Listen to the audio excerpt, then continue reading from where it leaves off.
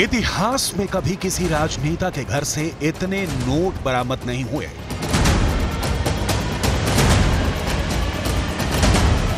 सिर्फ़ एक कमरे में 200 करोड़ नोट कैसे नज़र आते हैं? ये पूरी दुनिया ने पहली बार देखा है।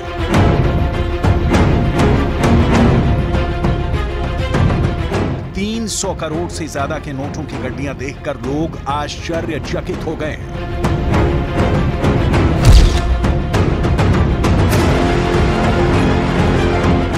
एक दो लाख नहीं, पूरे चालीस लाख से ज़्यादा नोटों वाली तस्वीरें सोशल मीडिया पर ट्रेंड कर रही हैं। नोट कहीं बैग्स में नज़र आ रहे हैं तो कहीं अलमारी में ठसा ठस भरे हुए नज़र आ रहे हैं। इतने नोटों को गिनने के लिए आयकर विभाग की मशीनें कम पड़ गई।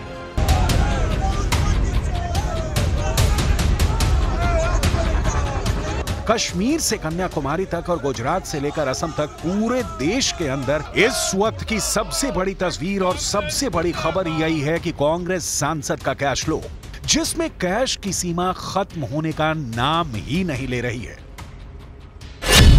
आयकर विभाग ने पहले यह कहा कि 200 करोड़ के करीब नोट जब्त हो सकते हैं, लेकिन नोट और मिलते जा रहे थे। इसीलिए आयकर विभाग ने नया अनुमान जारी किया कि 250 करोड़ के करीब नोट जब्त हो सकते हैं। लेकिन अब समाचार यह है कि अब तक 300 करोड़ रुपए के नोट मिल चुके हैं।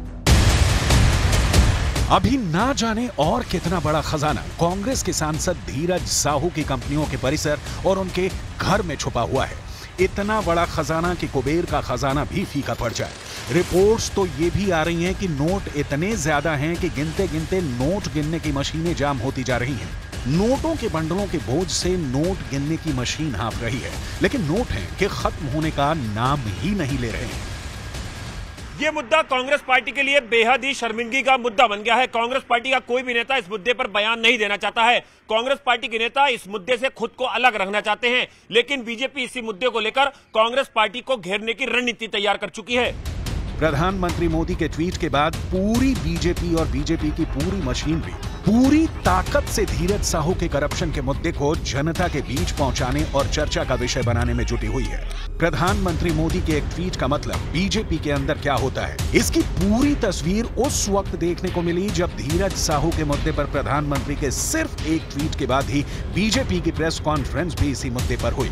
और इसके बाद पूरे देश के अंदर बीजेपी के हज़ारों कार्यकर्ता कश्मीर से कन्याकुमारी तक सड़कों पर भी उतर। आए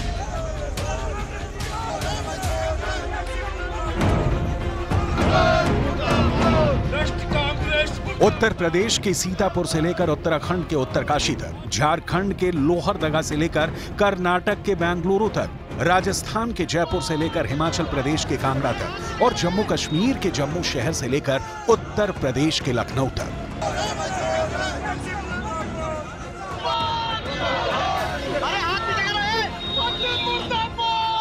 देश के कोने कोने में बीजेपी के कार्यकर्ताओं के बैनर्स और पोस्टर्स कांग्रेस और करप्शन के खिलाफ नारेबाजी से भरे पड़े थे। इन सभी राज्यों में बीजेपी के नेता धीरज साहू को कठपुतली और मोदी विरोधी गठबंधन को करप्शन की दुकान का असली मालिक बता रहे हैं। क्यों इंडी अलायंस के जो सहयोगी दल है कांग्रेस के, ये भ्रष्टाचार के खिलाफ क्यों नहीं बोल रहे? क्यों स्वागत नहीं कर रहे? ये ईडी का सीबीआई का विरोध क्यों कर रहे हैं? ये नोटबंदी का विरोध क्यों कर रहे हैं? साफ़ दिखता है चोर चोर मुसेरे भाई हैं।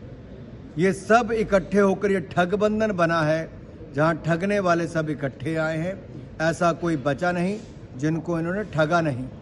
और मैं तो कहता हूँ, करप्शन और कांग्रेस दो सगी बहनें हैं, एक को ले आओ, दूसरी अपने आप आ जाती कश्मीर से कन्याकुमारी तक, यानी राष्ट्रव्यापी प्रदर्शन, दरअसल बीजेपी की उसी रणनीति का हिस्सा है, जिसके बारे में कहा जाता है कि बीजेपी को चुनाव जीतना आता है।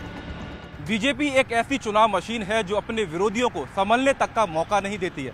अभी एक हफ़्ता भी नहीं बीता जब बीजेपी ने तीन राज्यों में चुनाव जीतकर इतिहास रचा, और उसके ठीक चार दिन बाद ही कांग्रेस पार्टी को शर्मिंदा करने वाले कांग्रेसी सांसद के कैश लीक की तस्वीरें देश भर के करोड़ों मोबाइल फोन्स पर वायरल हो गई हैं। तीन राज्यों में जीत की इतनी बड़ी सफलता के बाद भी बीजेपी के कार्यकर्ता सुख चैन की सांस लेने के लिए आराम से नहीं बैठे बल्कि मोदी के एक ट्वीट के बाद पूरे देश में कांग्रेस पार्टी के करप्शन के खिलाफ मैदान में उतर गए। 310 करोड़ से ऊपर धनराशि अलमारियों में मिली है। हमारी एजेंसियाँ भारत की स्वतंत्र है, वो सबकी जाँच कर सकती है, मेरी भी कर सकती है, आपकी भी कर सकती है। और इसके प्रमाण है, इनके झूठे आरोप जनता को पता है, इनके तथ्य रखने से कोई फ़ायदा नहीं है। जो पैसा इनकी अलमारियों में जमा है, बिस्तर बेडों में जमा है, सब एजेंसियाँ समयानुरूप निकालेगी और दोषियों को सजा मिलेगी। मैं पूछना चाहता हूँ, राहुल गांधी जी से और राजस्थान के अशोक गहलोत जी से कि अब तैयार हो जाओ एक सांसद के पास 300 करोड़ से भी ज़्यादा रुपए इतना बड़ा भ्रष्टाचार अब नंबर होगा राजस्थान का। जिसने राजस्थान के खजाने को लूटा है, इसी क्रम में पैसे पैसे का हिसाब किया जाएगा। यही नहीं, बीजेपी के बड़े रणनीतिकार अमित शाह ने भी प्रधानमंत्री मोदी के ट्वीट के बाद अपना बयान दे दिया। और किसी राजनेता के घर से बरामद हुई इस ऐतिहासिक कार्रवाई पर सरकार के रुख को भी साफ़ कर दिया। दो दिन पहले ही अखबारों में हमने ऐसी तस्वीरें देखी। मैं तो अचंभित रह गया किसी पार्टी के सांसद के घर से। इतने सारे नोट निकलना, मैं विश्वास से कह रहा हूँ, इतने सारे इंडस्ट्रियलिस्ट बैठे हैं, आपने इतने नोट आपके जीवन में नहीं देखे होंगे, सिर्फ़ बैंक का काम करने वाले ट्रेजरी के लोगों ने ही देखे होंगे। परंतु आज मोदी जी के नेतृत्व में पारदर्शिता के साथ विकास का सूत्र, जहाँ जहाँ भारतीय जनता पार्टी की सरकारें हैं, वहाँ ज़मीन पर उतरा है, वास्तविक बना है, और आज मोदी जी ने जिस कठोरता के साथ भ्रष्टाचार के खिलाफ काम किया है, मैं देश की जनता को विश्वास दिलाना चाहता हूँ कि भ्रष्टाचार करने वालों को बख्शा नहीं जाएगा। कितना भी बड़ा व्यक्ति है वो उसका दंड। झूठ बोलकर किस तरह से इनकम टैक्स की चोरी करके 300 करोड़ रुपए इकट्ठा किए गए थे? इसकी पूरी पड़ताल आयकर विभाग ने शुरू कर दी है। अब तो आयकर विभाग ने धीरज साहू की कंपनियों के कैंपस के अलावा धीरज साहू के घर पर भी छापेमारी का काम शुरू कर दिया है। लगातार जो बात आई है कि यहाँ पर हर बार जो आम लोगों के बीच में चर्चा का विषय है खास करके जो इस पर सियासत भी हो रही है तमाम लोग ये कह रहे हैं कि धीरज साहू जो है एक तरीके से खानदानी कारोबारी हैं और प्रतिष्ठित कारोबारी हैं। लेकिन इस पर जो झारखंड मुक्ति मोर्चा का कहना है कि चूँकि ये बहुत से ज़्यादा ज़्यादा मामला, ये टैक्स चोरी का हो सकता है, उससे ज़्यादा नहीं। कांग्रेस फ़िलहाल इस पूरे मामले में यह कर रही है कि बीजेपी नेताओं को खुद अपने ऊपर भी देखना चाहिए कि नोटबंदी के दौरान कई ऐसे मामले आए थे जिसमें उनके नेता पर भी पैसे बरामद हुए थे, उनके ठिकानों से भी। लेकिन फ़िलहाल जो जो कांग्रेस यहाँ पर जो सांसद हैं, यहाँ पर धीरज साहू, उनके आवास के बाहर गतिविधियाँ तेज है और बताया जा रहा है कि जो कैश की बरामदगी है, उसमें ज़्यादा बढ़ोतरी हो सकती है। आयकर विभाग उस वक्त चौंक गया जब आयकर अधिकारियों ने धीरज साहू के झारखंड के रांची में मौजूद घर पर छापेमारी की। धीरज साहू के घर से तीन बैग जब्त किए गए और दावा किया जा रहा है कि इन तीनों बैग्स में जेवर ही जेवर है। करप्ट राजनेता किस तरह से पूरे देश की व्यवस्था की आँखों में धूल झोंकते हैं? इसका एक नमूना कांग्रेस के सांसद धीरज साहू ने भी पेश किया है। दरअसल, कांग्रेस पार्टी के राज्यसभा सांसद धीरज साहू ने 2018 में चुनाव आयोग को बताया था कि उनके पास कुल 34 करोड़ की संपत्ति है, लेकिन आयकर विभाग को धीरज साहू के पास से अब तक 300 करोड़ रुपए कैश मिल चुका है। धीरज साहू कांग्रेस पार्टी के कोई छुट भैया नेता नहीं है। कांग्रेस पार्टी ने एक बार नहीं, बल्कि तीन तीन बार राज्यसभा का सांसद चुनकर उनको दिल्ली भेजा है।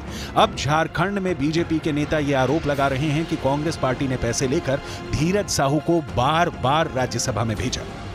सारा पैसा, गरीबों का पैसा, जो कांग्रेस के नेता और कांग्रेस पार्टी हड़पती है, वही संकल्प प्रधानमंत्री जी ने लिया है। एक एक रुपया गरीबों को हम लौटाएँगे।